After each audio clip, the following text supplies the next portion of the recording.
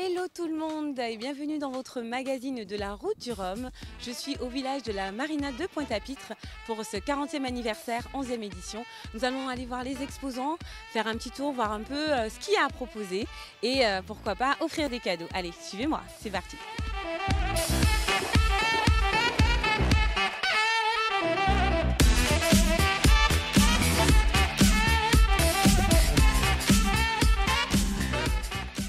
En me baladant, je vois de la couleur. De la couleur, il y en a énormément sur ce stand. Bonjour mademoiselle. Bonjour, Votre prénom? C'est Nisa. Nisa, c'est ça? Ça. Ok, mani- alors, il est magnifique ce stand. Vraiment, on a énormément de couleurs. Il y a des sacs, des chaussures. Parlez-moi un peu de, de- de ces créations, s'il vous plaît. Alors, ces créations viennent de Johanna et ainsi que sa sœur Cindy. Du coup, elles font, elles dessinent tous leurs modèles, euh, elles créent leurs chaussures, leurs pochettes, leurs vêtements, leurs accessoires. Et elles ont un atelier en fait au Sénégal. Et du coup, euh, tous ces modèles se font au Sénégal et tout est fait main. Mais c'est génial. Et du coup, en fait, euh, Johanna et Cindy, c'est ça Elles sont sœurs et euh, elles sont d'origine sénégalaise? Non, elles sont antillaises, guadeloupéennes du coup, et du coup, il y a une qui vit là-bas et une ici, et du coup, elles arrivent à collaborer, travailler ensemble, et pour avoir en fait ce beau résultat. Mais c'est génial. Et en fait, du coup, euh, et comment ça Vous savez comment ça, leur- ça leur est venu l'idée de Non? Non, vous savez pas du tout? Ah, du coup, c'est comment, ça a commencé sûrement dès la base. En fait, euh, ça revient à la mode, euh, le wax, le tissu africain. Donc, du coup, euh, elles ont commencé petit à petit avec quelques accessoires, quelques vêtements. Et au fur et à mesure, donc comme il y a une qui vit au Sénégal, donc elles ont décidé de lancer, d'ouvrir leur propre marque et de, du coup de faire maintenant de, belles, de très belles choses. Oui, effectivement, ce sont de très belles choses. Il y a même des colliers euh, avec, avec plusieurs étages, si on peut appeler ça comme ça. Et euh, en tout cas, super, super boulot. Et euh, en fait, elles, elles sont basées en Guadeloupe. Vous m'avez dit, il y a une en Guadeloupe, une au Sénégal. Et euh, on, peut les retrouver sur le stand ici ou ailleurs? Alors, on peut les retrouver ici. Sinon, les différents modèles, on peut les retrouver sur la page Facebook. Elles ont une page Facebook et retrouver tous ces modèles et ainsi et aussi par euh, téléphone prendre rendez-vous avec elles, ainsi pour voir, euh, tout ce qu'elles présentent, essayer prendre rendez-vous pour pouvoir acheter. Alors, une question que je pense que trois quarts des femmes doivent se poser à l'instant T. Est-ce qu'elles font du sur-mesure? Eh ben non, malheureusement, non, pas de sur-mesure parce qu'en fait, euh, tout se fait en gros, par grosse quantité. Donc ça vient du Sénégal, ça vient de là-bas. Donc du coup, c'est difficile de faire une pièce, mais euh, du coup, ce serait sûrement, pourquoi pas, dans l'avenir. D'accord, ben super. Mais en tout cas, vous les féliciterez de notre part, de la part de TV et de tous les téléspectateurs, parce que honnêtement, c'est magnifique, c'est très beau, et moi, je vous encourage à passer voir. Donc, euh, à la Marina de Pointe-à-Pitre, au village de la Route du Rhum, Nous sommes là jusqu'à dimanche. Nous sommes là jusqu'à dimanche. jusqu'à dimanche. Voilà.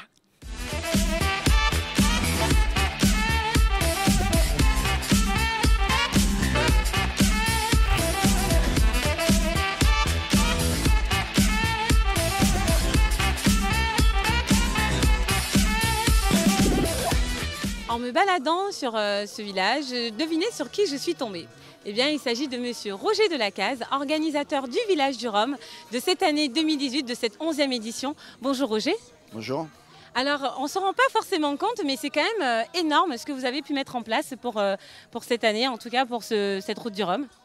Ouais, c'est énorme et puis c'est pas, ça n'a pas été facile. Ça a été, euh, ça a été une année assez, assez compliquée, assez laborieuse. Et puis bon voilà, pour ceux qui connaissent un peu ce site, euh, ben, d'habitude il n'y a rien, j'ai juste un, terre-plein en béton. Quoi.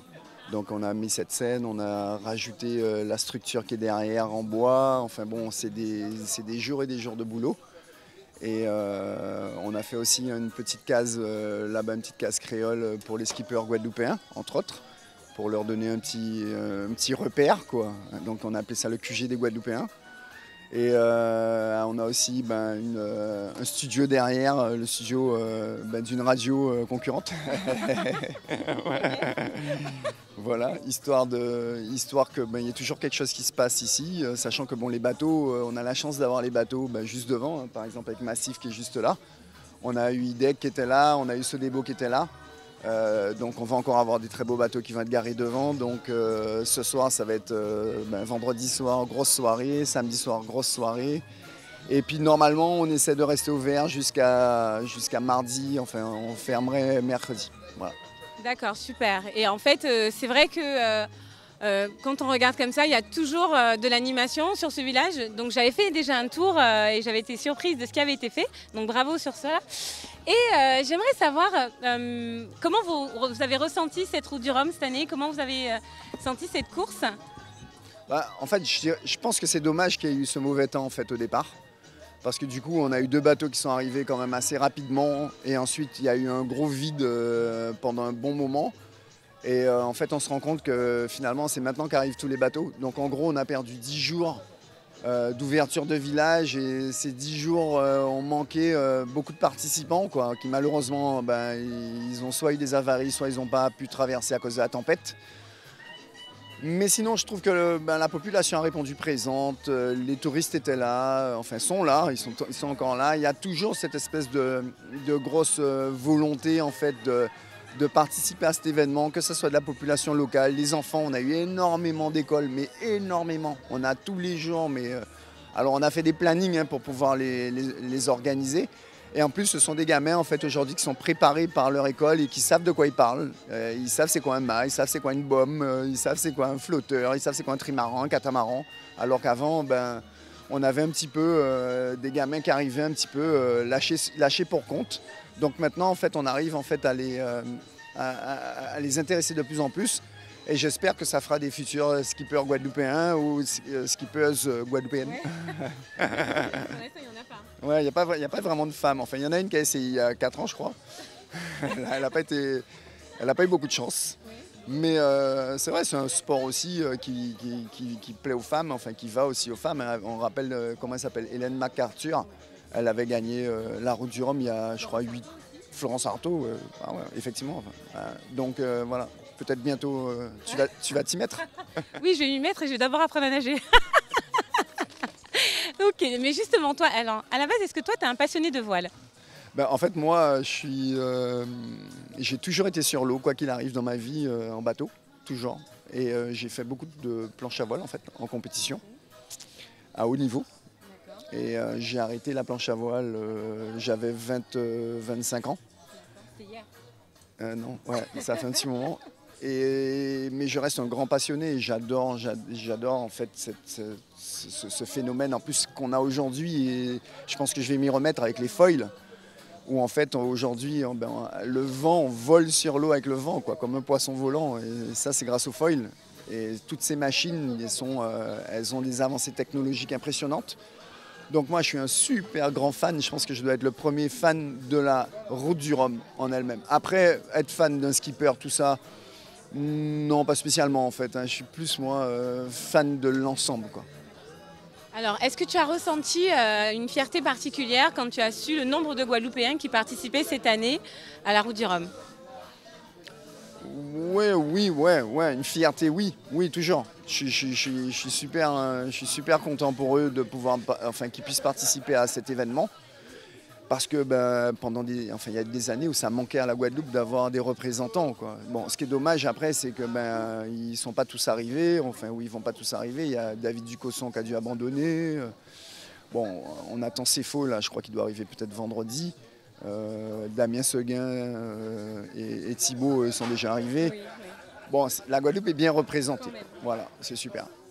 Mais super, mais en tout cas, merci beaucoup Roger. Et est-ce que tu aurais un petit mot euh, pour, euh, alors, pour les, jeunes qui aimeraient pouvoir se lancer euh, justement dans la voile ou pourquoi pas un jour envisager de, faire cette euh, route du Rhum?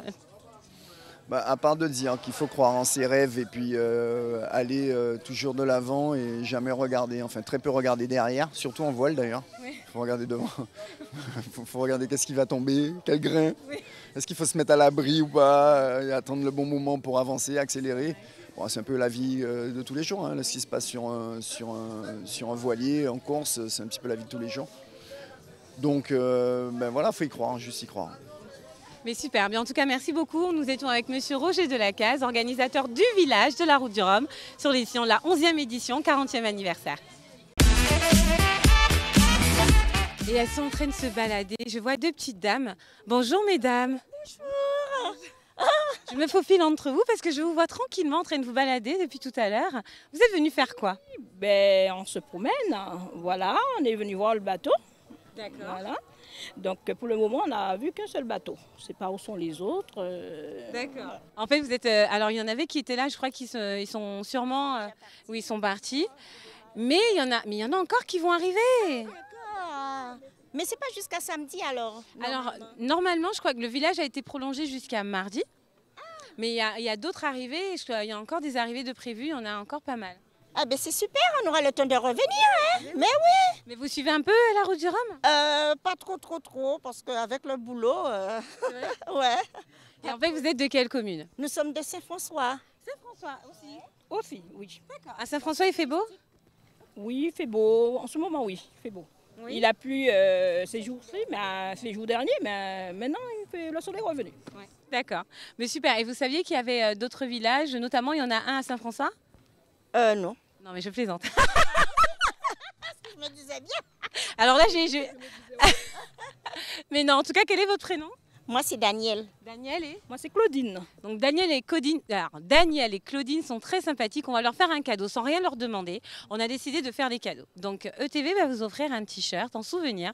Comme ça, vous êtes venus, même si vous n'avez pas vu tous les autres bateaux, vous aurez au moins un beau souvenir, un beau t-shirt Sébastiano, d'accord, offert par ETV et Sébastiano. Mais tenez, je vais vous laisser le micro, comme ça vous pouvez, euh, si vous avez un petit mot ou un petit message à passer, c'est le moment de le faire. Eh bien, euh, pas grand-chose. Je fais un petit coucou à tous mes amis, euh, à mes enfants, et puis voilà, c'est bon. On est en plein soleil, là, voilà. voilà. Elle est géniale, elle est super, elle est au top. Alors un t-shirt pour toi, voilà. Merci. Et un t-shirt pour toi également. Alors, on dit merci qui? Merci ETV. Merci ETV. C'est super, c'est top, on fait des cadeaux. Allez, à tout à l'heure. Merci. Au revoir. Au revoir.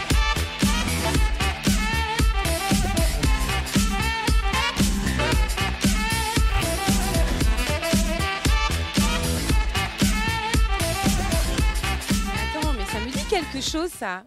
Love. Bonjour. Le love, ça me dit quelque chose.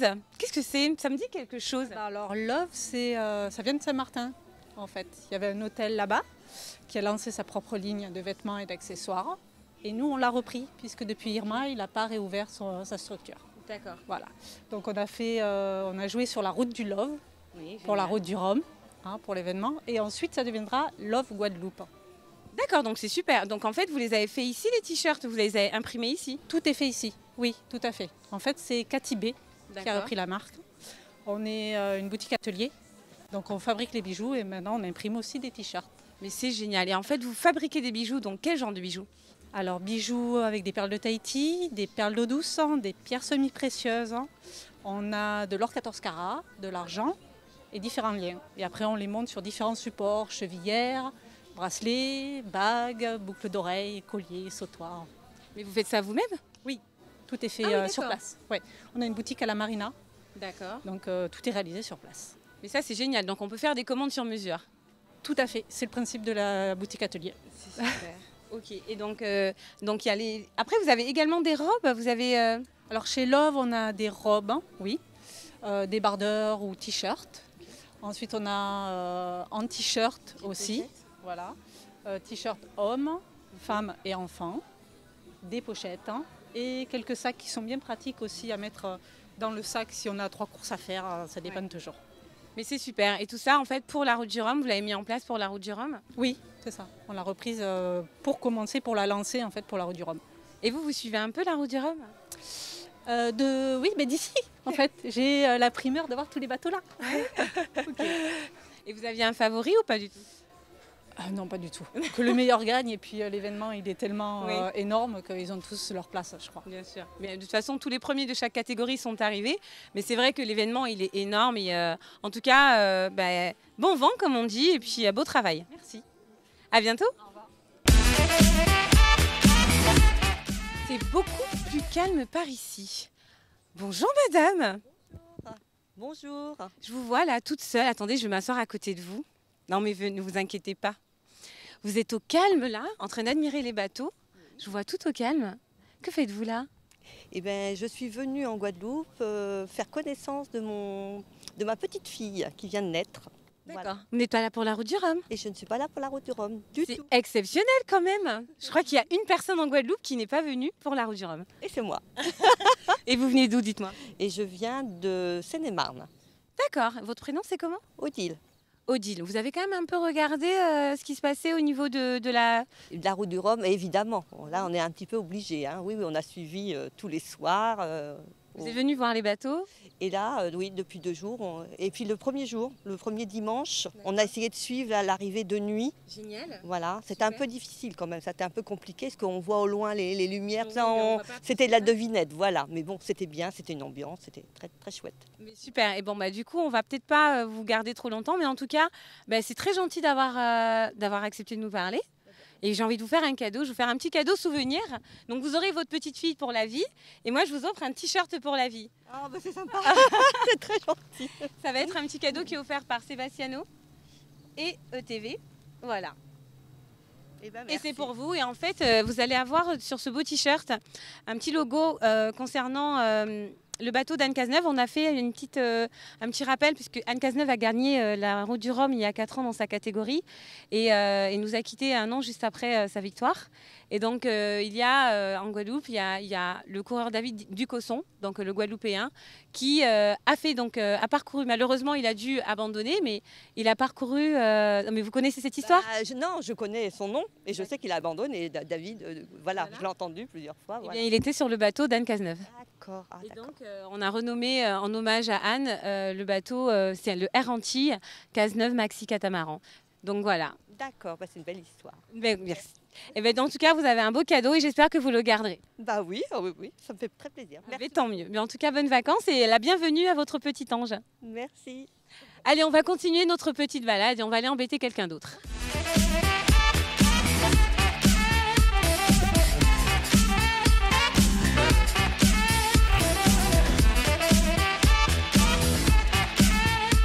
Alors j'ai vu un petit groupe qui se baladait, du coup je me suis permise de les arrêter et je découvre par pur accident que ce sont des personnes qui étaient au départ de la route du Rhum à Saint-Malo. C'est à Saint-Malo, non? Ouais, j'étais à la pointe du Groin. D'accord. Donc c'est pas à Saint-Malo, c'est à la pointe du Grain, du Groin. C'est à côté de Saint-Malo. C'est, ils partent de la pointe du Groin et ils remontent euh, par le Cap Friel et puis après ils partent. Et donc là, vous êtes euh, du coup venu euh, spécifiquement pour la route du Rhum? Ah non, pas spécialement. On est en vacances euh, par l'amicale des pompiers. L'amicale des pompiers. Vous aussi, vous êtes pompier? Oui.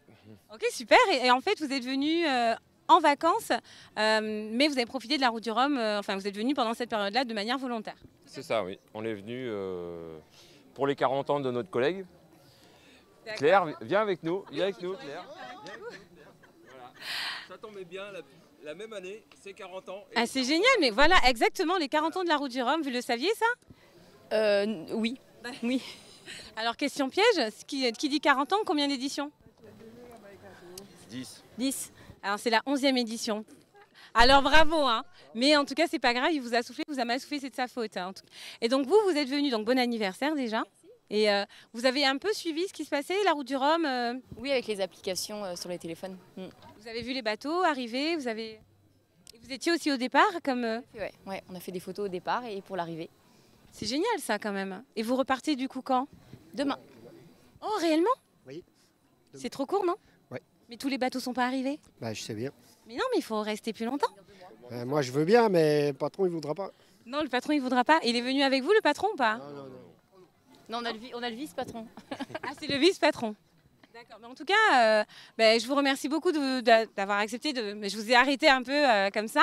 Et je vais vous faire un petit cadeau à vous pour votre anniversaire. Et aux deux aussi parce qu'ils ont été adorables. Et, euh, en tout cas, super, hein, faire le départ, euh, les arrivées. Nickel. hein. Alors un petit cadeau pour vous de la part de la top de mon petit sac Sébastiano qui est au top quand même. Je tiens à préciser. Je vous laisse mon micro. Chantez-nous une chanson. Hein Il n'y a pas de risque. De Strasbourg. Alors un t-shirt et bon anniversaire. Pour vous également, Merci. les beaux t-shirts Sébastiano. Hop. Et pour vous, je crois que c'est la bonne taille. Merci. Ben merci, merci beaucoup en tout cas. Et euh, nous, on va continuer, on va même peut-être se quitter. C'est le moment de vous dire au revoir et rendez-vous sur le prochain magazine de la Route du Rhum.